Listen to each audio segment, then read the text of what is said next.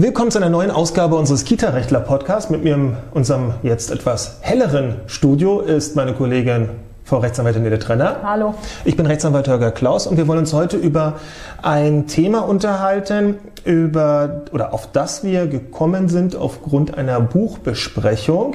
Dieses Buch äh, nennt sich Crash-Kommunikation und behandelt letztendlich die, die Fehlerkultur in einem Unternehmen und zu einem Unternehmen können wir natürlich auch eine ähm, Kita oder einen Kita-Träger zählen. Und in diesem Buch geht es darum, dass ähm, ein Unternehmensberater sich damit beschäftigt hat, dass man wohl über die Jahre oder Jahrzehnte festgestellt hat, dass bei Flugzeugunglücken der Faktor Mensch ähm, der eigentlich ausschlaggebende Faktor ist, dass man sagt. Wie eigentlich, wie eigentlich in jedem Bereich. Genau, das überträgt er ja dann, aber eben er sagt, und da wird es dann auch gleich interessant, dazu kommen wir dann, aber er stellt erstmal diese, diese, diese, diese, diese Tatsache fest. Also es ist nicht das, es ist meistens nicht das Material, es ist meistens nicht äh, das Wetter, sind meistens nicht die unbotmäßigen Passagiere, sondern es sind tatsächlich Fehler von Menschen, die dann zu schlimmen Sachen führen. Und meistens ist es dann auch noch so, dass äh, die Kommunikation im Vorlauf, also man entdeckt einen Fehler und dann, was passiert dann? Und ähm, wenn es darum geht, wie werden die Fehler behoben oder kann man den Fehler noch abwenden, damit es nicht eben zu irgendwas ganz fürchterlichem kommt, das ist dann sein Thema und er sagt halt, naja, diese Erkenntnis hinsichtlich des, der, der Fehleranfälligkeit von Menschen und wie damit umgegangen wird, das ist gerade in der Flugzeugindustrie, also bei den Fluggesellschaften, dann mehr oder weniger mustergültig umgesetzt worden. Also man ne, kann ja sagen, klar, der Faktor Mensch spielt meistens eine Rolle, nur wie geht man mit dieser Erkenntnis um? Und wir fanden, wir haben das Buch nicht gelesen, aber uns hat schon die Buchbesprechung und wir werden, glaube ich, den, den ähm, Link zu diesem Interview des Herrn, der das Buch geschrieben hat, ähm, sicherlich auch unterhalb der Videos irgendwo aufführen. Aber uns hat das Thema so ja fast, sagen wir mal, angesprochen, weil natürlich einer seiner Hauptthesen ist, ähm, das Vertuschen von Fehler muss mehr bestraft werden als der Fehler selber. Klar, in unserem Bereich kann man natürlich, wenn irgendwas ganz Gruseliges, Übergriffiges passiert, äh, nicht äh, den Fehler selber nachlässig behandeln oder das Bestrafen des Ganzen. Aber was eine Fehlerkultur in einem Unternehmen ausmacht, ist eben ein bisschen mehr. Und das, was nicht passieren darf, ist das Vertuschen von Fehlern. Nur wie, wie kann man das am besten im Kita-Alltag bewerkstelligen? Darüber wollen wir uns heute unterhalten. Ja, also man hört natürlich ständig von diesen, von diesen wirklich äh, gruseligen Fällen. Ähm, jetzt vor, äh, keine Ahnung, vor einem halben Jahr, Dreivierteljahr, in, Dreivierteljahr in Berlin gab es diese Kita, äh, wo es halt auch schlimmste Vorwürfe gab äh, gegen eine Erzieherin. Und äh, die Kollegen und Kolleginnen haben halt gesagt, ähm, naja, wir sind ja ein Team und so weiter oder ähm, möglicherweise trauen wir uns auch nicht selber zu petzen und als Petze dazustehen äh, oder was auch immer es für Beweggründe gab, bis dann irgendwann, ich glaube, es war eine Praktikantin, die dann äh, doch mal den Mund aufgemacht hat und gesagt hat, Moment mal, irgendwas läuft hier gerade schief. Ähm, das heißt. Äh, die sich aber wohl nicht direkt an den Träger oder an die Leitung gewendet hat. Wir, wir kennen den Fall nur aus den, aus den Zeitungen, das müssen wir dazu sagen, sondern wo gleich direkt zur Kita-Aufsicht dann marschiert ist und die natürlich äh, hoch empört waren. Was ist das denn bitte? Ähm, da scheint es entweder gar kein Management oder keine Struktur zu geben, dass so etwas gar nicht passiert. Oder, wir müssen ein bisschen im Konjunktiv reden, weil wir den Fall natürlich nicht hundertprozentig kennen. Oder aber, naja, wie kann es denn sein, dass eine Praktikantin erst zu uns kommen muss und nicht intern damit irgendwie umgegangen wird, wenn jemand feststellt, oh, den Umgang mit den Kindern, den finde ich, warum auch immer, ja, warum auch immer, erstmal nicht okay, nicht bedenklich. Genau, das ist also so ein, so ein Beschwerdemanagement, da geht es einfach in die Richtung, okay, was, was hätten wir gerne, Gibt es bestimmte Ansprechpartner? Wird es offen kommuniziert, wer der Ansprechpartner ist? Mhm. Kann man auch sonst zu jedem gehen? Muss man möglicherweise was befürchten? Mhm. Sei es, äh, weil es irgendwelche Uraltgeschichten gibt, dass man dann sofort rausgeschmissen wurde oder keine Ahnung was. Mhm. Ähm, das sind ja dann meistens so die Beweggründe, die einen daran hindern. Ähm, und wie wird eben damit umgegangen? Wird, man, wird man, sofort, äh, ich erinnere mich an, an früher, äh, die äh, Leute, die nicht geschwänzt haben in der Schule, die waren dann die Schüler, die angemeckert wurden, warum die anderen jetzt nicht da sind. Also ja, sprich, ja, wird der jetzt dann zum, zum, zum Sündenbock hingestellt oder nicht? Genau, das ist ja der Punkt. Ne? Das, ähm, wie gehen wir damit um, wenn also wie gehen wir als Leitung womöglich damit um, aber wie gehen wir auch als Team damit um, wenn wir das Gefühl haben, irgendwo wird der Fehler nicht kommuniziert. Ich meine, alle machen Fehler. Fehler passieren und meistens können Fehler behoben werden, wenn sie frühzeitig erkannt und kommuniziert werden. Ja, also ähm, nichts ist fataler, als wenn es gibt manchmal in, in, in Fernsehserien ähm, das Beispiel, da am Armaturenbrett, da leuchtet eine rote Lampe. Ist mir egal, lass sie leuchten. Ja, würde man sich gleich darum kümmern, äh, wäre das wahrscheinlich mit ein bisschen Öl nachgießen ähm, getan. Kümmert, sich, kümmert man sich nicht darum, ist irgendwann der Motorschrott. Also insofern eine sehr bedenkliche Herangehensweise, etwas nicht zu machen. So, jetzt kommen wir zu dem Punkt, dass, ähm, dass womöglich Fehler einfach nicht, Fehler einfach nicht richtig angesprochen werden oder einfach vertuscht werden. Einerseits, wenn man vielleicht den Kollegen nicht in die Pfanne hauen will, andererseits, wenn man sagt, okay, ähm, die Leitung muss ja nicht alles wissen. Und da hat dieser Herr gesagt, es sollte eine Kultur vorherrschen, ähm, in der das Vertuschen eines Fehlers stärker geahndet wird als der Fehler selber, bis auf die ganz groben Schnetzer. Wie würde man das hinbekommen in einem Kita-Bereich? Doch wohl in erster Linie, indem deutlich gemacht wird, redet. Redet, redet, redet, damit wir was draus machen können. Mhm. Manchmal gibt es ja auch ähm, aus ganz anderer Richtung die entsprechende Verpflichtung, sich mit Fehlern zu beschäftigen. Wir erinnern mal zum Beispiel an das Unfallbuch, an das Verbandsbuch. Der beinahe Unfall. Etwas, was sehr wenige kennen, aber eigentlich sagen die Unfallkassen, nein, auch der beinahe Unfall mhm. sollte in einem solchen Buch vermerkt werden. Weil es könnte ja sein, dass ein paar Tage später, ein paar Wochen später doch irgendwas auftritt. Richtig, äh, richtig, wegen, richtig. Ich glaube, ich habe mir mein Knie doch verdreht. Ja, oder der, der, der beinahe Unfall und warum er dokumentiert werden sollte, der, ähm, der kommt ähm, sicherlich in erster Linie aus der Industrie, indem nämlich dort man sagt, okay, angenommen es gibt in irgendeinem Werk, in irgendeinem ähm, Betrieb einen extrem lauten Knall. Alle erschrecken sich und gucken sich an, aber stellen fest, wow, zum Glück ist nichts passiert. Könnte aber dennoch dieser Knall, ähm, könnte dennoch der Knall das Trommelfell irgendwie in Mitleidenschaft gezogen haben, was man womöglich erst später mit Knalltrommel, ich kenne mich damit zu wenig aus, aber da sagt man, Moment, auch wenn, an, wenn auf den ersten Blick bei diesem Unfall niemandem etwas passiert ist, meistens entsteht ja auch dieser laute Knall aufgrund eines Fehlers. Ventil nicht geöffnet, Ventil doch geöffnet, irgendwas. Kenne ich nicht, weiß ich nicht, ist aber egal. Ähm, es könnte daraus ja etwas Schlimmes sich noch entwickeln und, das ist dann die andere Geschichte, Moment, man sollte im Rahmen der Unfallverhütung genau sich dann mit solchen beinahe Unfällen doch mal sehr genau beschäftigen, weil beim nächsten Mal hat man vielleicht kein Glück, wenn das Ventil auf einmal aufgeht und ein lauter Knall passiert. Und im Kita-Alltag ja, ich höre die Stimmen schon wieder. Na, dann kommen wir aus dem Dokumentieren ja gar nicht mehr raus. Ja, aber ähm, vergessen wir mal das Unfallbuch. Trotzdem kann man sich ja in dem Fall ja sehr wohl darüber unterhalten, wie gehen wir damit um, wenn ein Fehler passiert ist.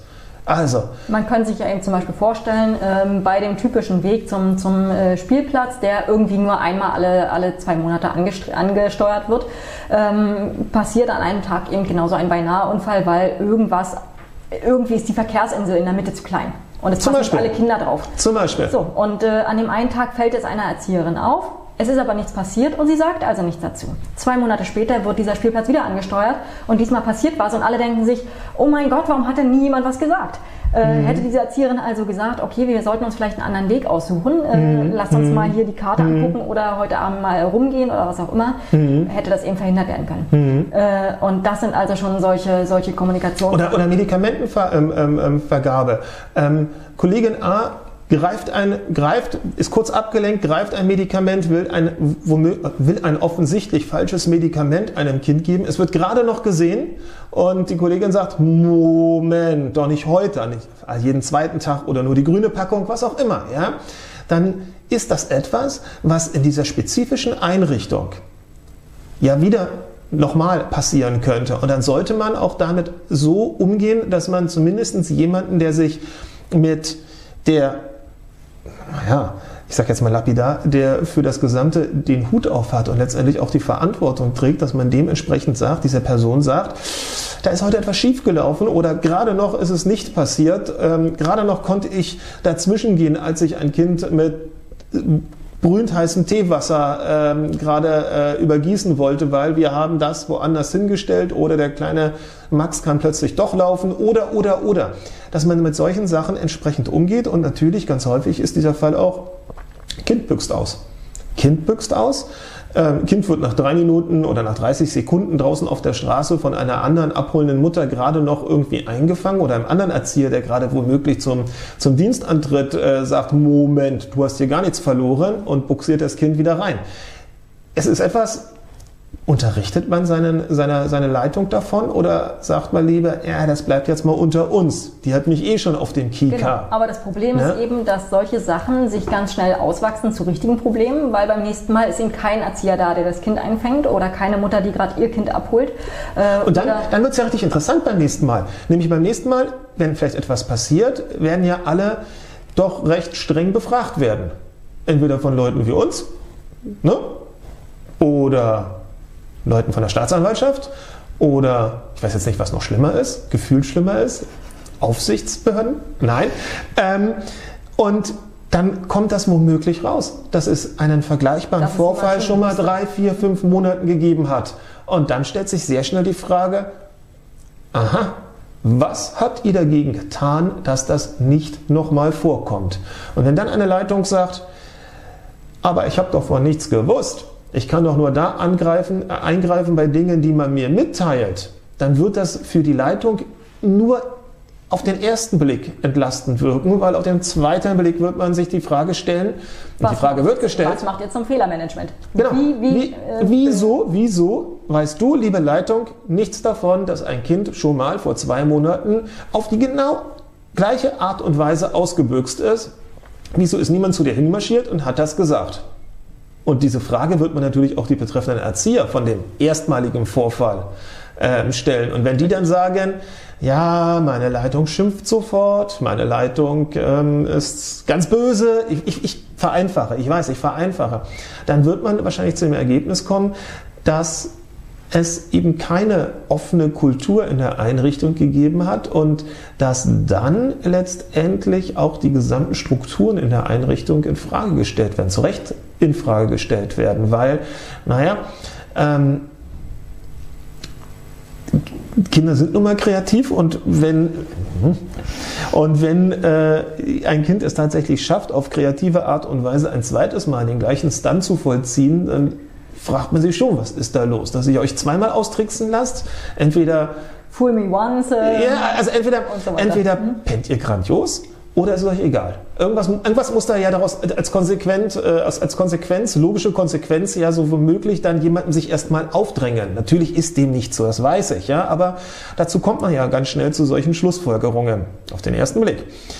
Ähm, in dem Zusammenhang ähm, hat der Herr wohl in seinem Buch, um darauf wieder zurückzukommen, auch gesagt, eigentlich gehört zu einer offenen Fehlerkultur nicht nur der, der regelmäßige Austausch, in dem jeder im Team halt zwei Dinge benennt, regelmäßig zwei Dinge benennt, die ihm irgendwie aufgefallen sind.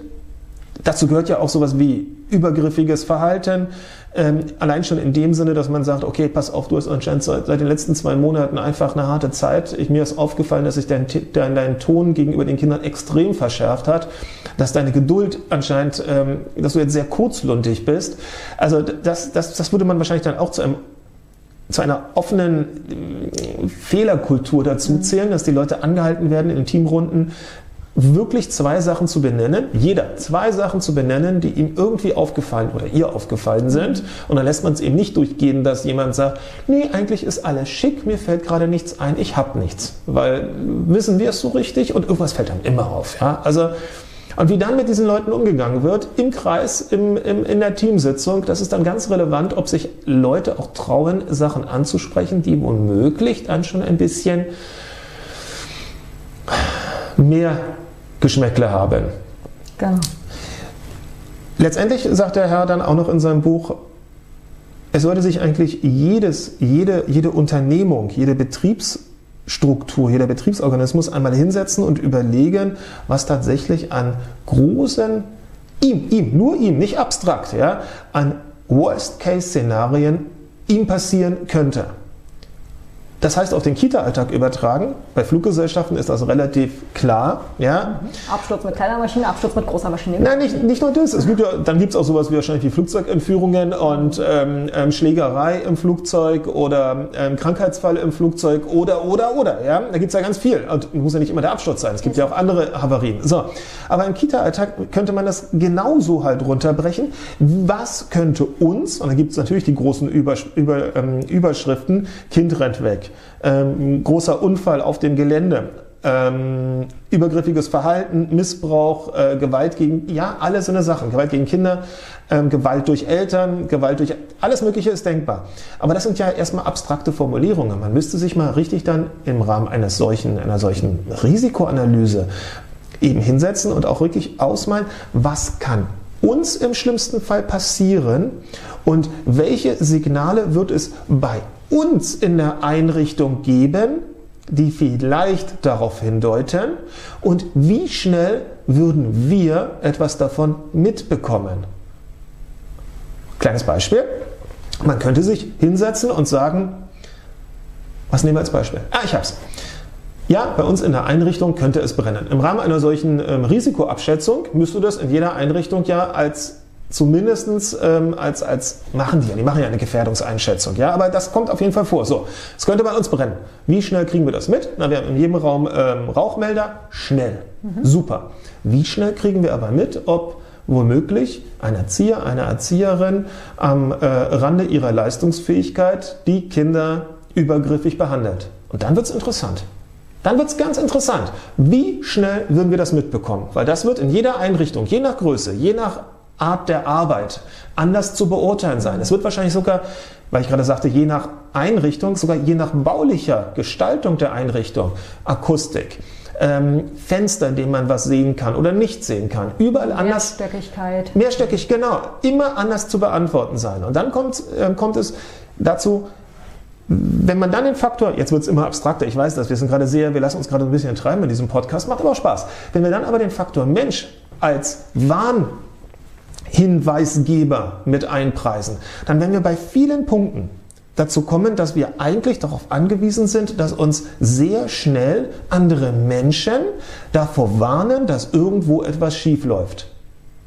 Aber wenn sich die dann nicht trauen zu warnen oder den Hinweis zu geben, dann, dann hat, man, dann hat man ein Riesenproblem. Mhm. Dann hat man ein Riesenproblem. Also wir sind darauf angewiesen, dass Erzieher sich gegenseitig dann doch ein bisschen beobachten und dann auch die Courage haben dürfen zu sagen, pass auf, das war gerade nicht in Ordnung. Du hast dich da gerade echt vergessen. Und dann müsste man überlegen, ab welchem, sag ich jetzt mal, ähm, Einwirkungsniveau tatsächlich man auch erwarten kann, dass das einer Leitung mitgeteilt wird. Also klar, soll nicht alles immer reihum und äh, frei durchgepetzt werden, wenn es einfach nur jemanden gibt, der einen schlechten Tag hatte. Aber sobald es dann schon in den roten Bereich kommt, Stichwort Erzieherampel, wo man selber irgendwann mal definiert hat, das sind rote Bereiche, dann muss daraus etwas folgen. Und nicht nur das vertrauliche Gespräch zwischen zwei Kollegen, sondern eben auch, hey, mir ist in letzter Zeit aufgefallen, wir gehen, das kann man ja abstrakt in so einer Teambesetzung machen, wir gehen ein bisschen ruppig mit den Kindern um oder zum Teil ruppig. Und ähm, wir fanden das Buch eben aus diesem Grund ganz spannend, weil es als Postulat vorgegeben hat, um das nochmal das eingangs erwähnte zu wiederholen, der, der, das Vertuschen eines Fehlers sollte strenger gestraft, bestraft werden, geahndet werden als der Fehler selber. Wie kann man das machen? Ja, man kann auch das mit Abmahnung machen. Also auch das geht. Denn man wird herleiten können, dass aus dem Arbeitsverhältnis, das gibt die Treuepflichten eines Arbeitnehmers zum Arbeitgeber und umgekehrt, dass aber der Arbeitnehmer eben verpflichtet ist, seinen Arbeitgeber darauf hinzuweisen, wenn irgendwo Risiken und Gefahren für den Arbeitgeber lauern.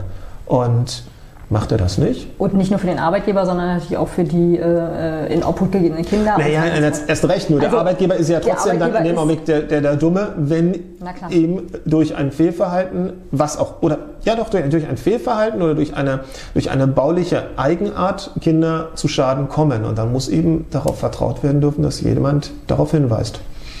Ich glaube, jetzt haben wir es so ein bisschen. Spannendes Thema, wir machen vielleicht noch einen zweiten Podcast daraus. Ähm, wenn den, wir das Buch mal gelesen haben. Wenn wir das Buch mal gelesen haben, ähm, den Link vom Buch äh, werfen wir unten rein. Es ist ähm, zumindest ähm, in diesem Bericht sehr gut aufgenommen worden. Ähm, es erschließt sich natürlich für den Kita-Alltag nicht ähm, auf den ersten Blick, aber ich glaube, die Grundsätze, die dort genannt sind, ja, da kann man sich vielleicht eine Menge von abschauen und wir geben man muss, das eigentlich, man muss eigentlich nur gucken, was sozusagen die eigene Blackbox in der, in der eigenen genau, Unternehmung genau. Wo, wo versandet das, was irgendwelche ja, schlauen Erzieher als riskant oder bedenklich erachtet haben? Wo versandet das? Auf welcher Ebene? Und an dieser Ebene muss man ansetzen und da muss man eben gucken, also auch ein Trägerverantwortlicher, der vielleicht fernab der Einrichtung irgendwo in seinem Büro sitzt, der wird auch dann darüber sich Gedanken machen müssen, was erzählt mir die Leitung eigentlich?